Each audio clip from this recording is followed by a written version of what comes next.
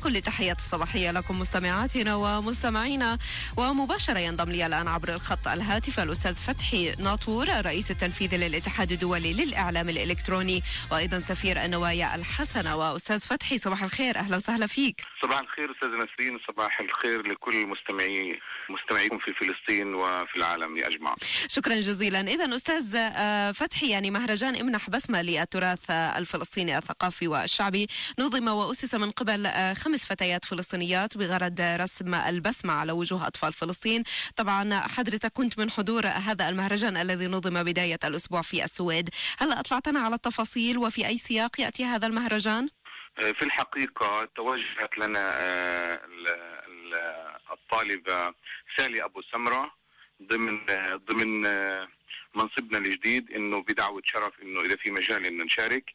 توجهنا إلى هذا إلى السويد لنقدم الدعم المعنوي والإعلامي وندعم هذه الفكرة من خلال آه، منصبنا في سفيرا للنوايا الحسنة. حتى تم تبني هذا المشروع ليكون مشروع في كل تقريبا في كل المناطق الفلسطينية؟ إن شاء الله خلال زيارتنا القادمة لفلسطين سوف تطرح بشكل رسمي.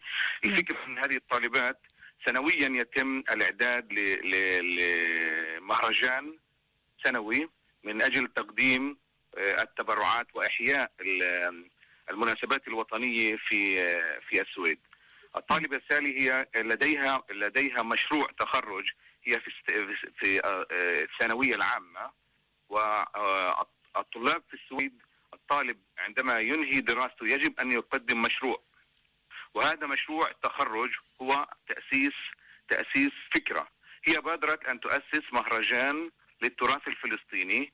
هذا المهرجان كان له هدف سامي هو جمع تبرعات لأطفال فلسطين.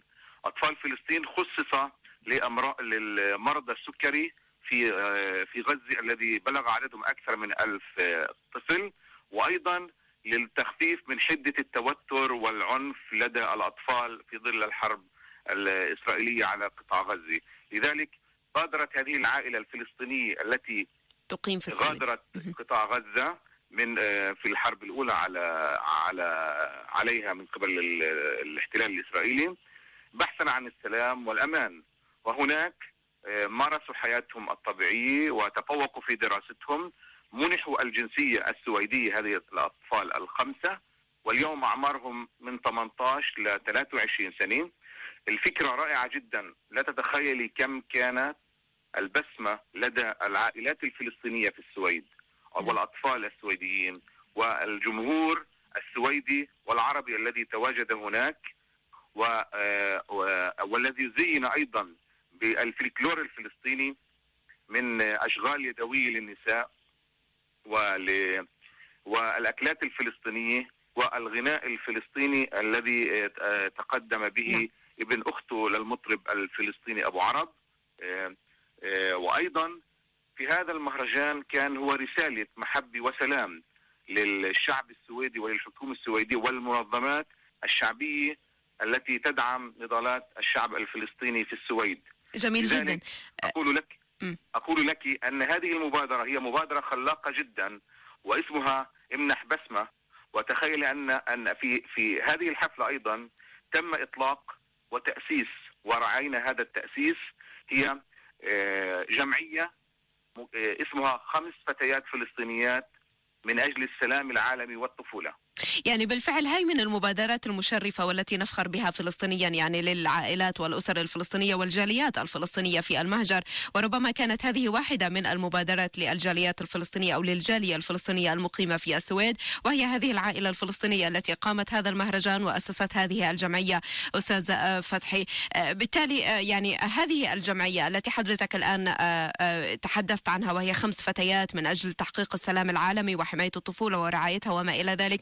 ما الذي تحتاجه بالفعل آه، حتى تستمر وحتى آه، آه، تؤتي نتاجها سواء فلسطينيا وحتى حيثما هي موجودة في السويد لابد أن نعترف وأن نسجل أن الفلسطينيون في الخارج مختلفون جدا عن الفلسطيني في الداخل من أين؟ في الخارج يعيشون يعيشون يعيشون روح الانتماء و والعمل والتضحية وتقديم كل ما يلزم دون مقابل يعيشون الحياة الفلسطينية لا ينظرون إلى الانقسام، لا ينظرون ال إلى ال إلى التناقضات الموجودة، إلى الهموم اليومية التي يعيشها المواطن الفلسطيني على الأرض من احتلال و وتصعيد وعدم رواتب وعدم استقرار وضعف.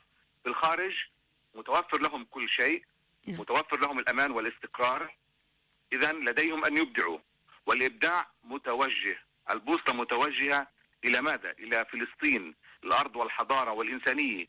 لذلك هذه المبادرة بحاجة إلى الدعم أولا الدعم من السلطات الفلسطينية من الدولة الفلسطينية ولا بد أن أسجل وهذه رسالة أيضا لازم أن أوصلها السفارة الفلسطينية في السويد للأسف الشديد للأسف الشديد لم لم تحضر ولم تقدم الدعم لهذه العائلة ولهذه المهرجة. المبادرة الطيبة نظرا لظروف أنه لا يوجد دعم لا يوجد رواتب. تخيلي لا يوجد رواتب. ما دخل الرواتب في هذا الموضوع؟ صحيح. نحن بحاجة إلى إعادة الانتماء بحاجة أن نسلط أنه من يريد أن يعمل ليس بحاجة لشيء. يجب أن يبدأ وأن يبادر. بالفعل. بادرت خمس أطفال بادروا. نعم. وهذا ربما هذا يريدون فقط الدعم. الدعم المعنوي فقط ما بدهم فلوس. صحيح صحيح بالفعل. أستاذ فتحي وهذا هو سؤالي الأخير. يعني حضرتك تشغل منصب آه، سفير نوايا الحسن وربما يعني هذا منصب آه، هام وحساس كونك فلسطينيا وهنا تمثل فلسطين يعني في هذا الموضوع. يعني نحن نعرف أن الكثير من الصور النمطية التي ألصقت بنا كفلسطينيين كأشخاص محبين للحروب والانتفاضات وللإعتداءات وما إلى ذلك. وربما هذا يزيد من عبء المنصب الذي تشغله حضرتك الآن. يعني من خلال هذه التجربة المبادرة الفلسطينية وهنا نتحدث عن مبادرات فردية مقارنة بالمسؤولية الرسمية الذي حضرتك ربما تمثلها. كيف يمكن أن نتحدث عن هذا الموضوع؟ سريعا من فضلك. أنا أقول أن على كل من لديه الفكرة والمبادرة أن لا ينتظر من أحد أن يساعده. علينا الاهتمام بالشباب. الشباب هذول هم الوقود تبعنا اللي فيهم الطاقة فيهم الاندفاع فيهم فيهم التضحية يجب أن نستثمر فيهم. نعطيهم الفرصة. شعارنا اليوم امنحونا الفرصة. امنحوا الشباب الخريجين الجالسين لديهم طاقات هائلة لتغيير الصورة النمطية. أننا شعب نعم. لا يعرف ماذا يريد. لا. شعبنا الفلسطيني يعرف ماذا يريد ويريد أن يعمل. ولكن على القيادة الفلسطينية وعلى المؤسسات الفلسطينية أن تخرج من الثوب. الثوب التقليدي اللي هو لا يوجد إمكانيات. لا. لدينا إمكانيات إمكانيات هائلة بنقدم الشهداء ونقدم الجرح ونقدم الأسرى ونقدم يوميا يوميا كل التضحيات نعم. ولكن علينا توجيه البوصلة فقط إلى فلسطين فلسطين الأرض والإنسان والكرامة والحرية وأن نخرج من المثاليات والمتناقضات التي آه، آه، الجميع يتحدث عن عن نعم. ماذا؟ عن الانقسام والانقسام والانقسام موجود كيف يمكن أن ينتهي الانقسام؟ بالوحدة وبتوجيه البوصلة إلى نعم. دعم كل ما هو خير في شعبنا الفلسطيني المعطاء الجاهز والصامد لتقديم كل شيء دون مقابل. بالفعل بالفعل وأشكر يعني بدوري أشكرك أستاذ فتحي الناطور الرئيس التنفيذي للاتحاد الدولي للإعلام الإلكتروني وأيضا سفير نوايا الحسنه أشكرك على تواصلك وأشكرك على هذه المداخلة القيمة جدا. شكرا جزيلا أستاذ فتحي. وأنا اشكركم جزيلا أنتم الاذاعة الاذاعة المتألقة أيضا بكادرها وبعطائها وباهتمامها بكل بكل اضاءة فلسطينية مهما كانت صغيرة أو كبيرة وفي اي موقع. لكم منا كل التحية والتقدير وان شاء الله نلقاكم قريبا في فلسطين. إن شاء الله. شكرا جزيلا. إلى اللقاء أستاذ فتحي.